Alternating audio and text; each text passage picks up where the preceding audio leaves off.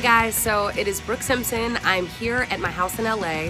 Uh, but I'm really excited because on October 13th, I'm going to be coming home to my home state of North Carolina and I'll be doing a show for you guys in Lumberton at the Carolina Civic Center. Make sure that you grab your tickets while you can. I want to see you, I want to hang out, I want to sing you all the songs that I've been writing uh, and recording and all the songs that you already know. Uh, the tickets are only $35, so go ahead and grab them now while you can. And if you share this video, you just might be a lucky winner who gets a free ticket. So I can't wait to see you there. And it looks like my puppy, Toby, is excited that you'll be coming there too. So I can't wait to see you there. Bye.